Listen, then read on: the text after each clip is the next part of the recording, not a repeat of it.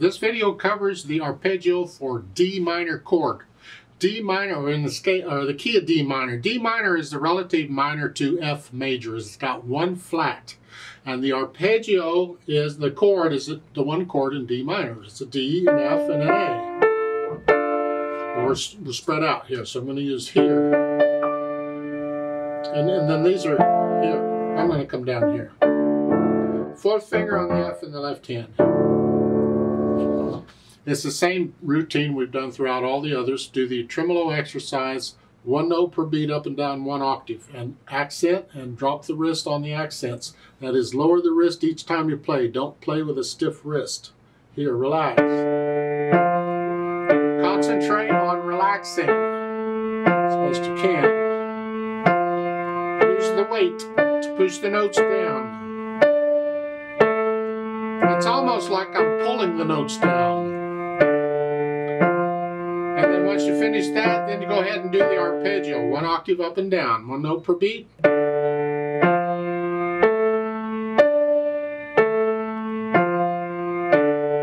And that's good enough. You don't need to push yourself. You'll have plenty of time for the other stuff later.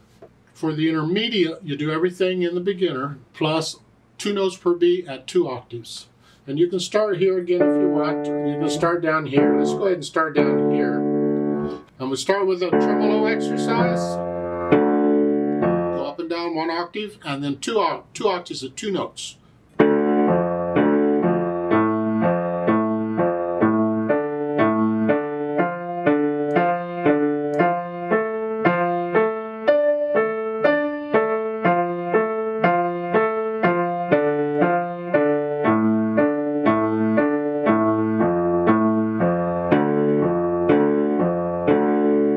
Then do the actual arpeggio, one and two octaves, one and two notes per beat is here.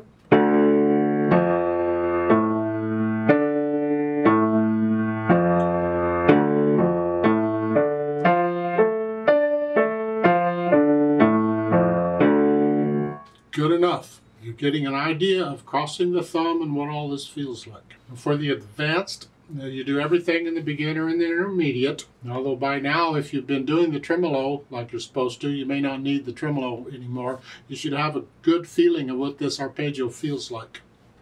I mean, it feels the same as C major, F major, G major, E minor. Any of them that use all white keys use the same fingering, the same feel. So D minor is the same. They all use the same. So hopefully by now you're getting a feeling of this. It's just the notes are different. You do one, two, three, and four octaves, so one, two, three, and four notes per beat. It's the same pattern we've been using. And go ahead and come down an octave below middle C here. Start here.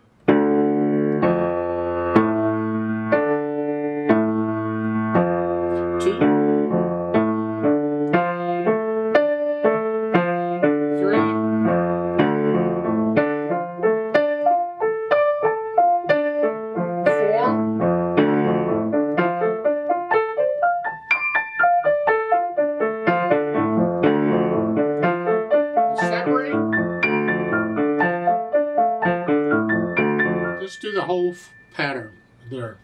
And once you've done those, then do the inversions. So you keep the same fingering. It's just now we're going to start on fourth finger and here. We're here. Just. And this is the same pattern we've done on all the others. One, two, and three, and four octave. Okay.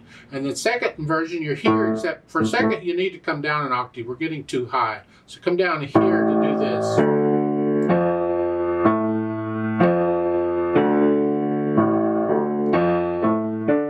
Again, it's the same pattern, and do the contrary. That's the challenge on these inversions, because then the fingers are getting all jumbled up.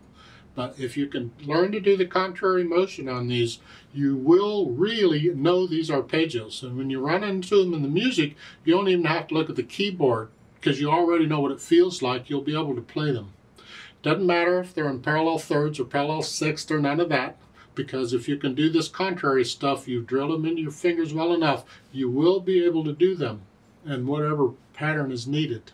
It works very well.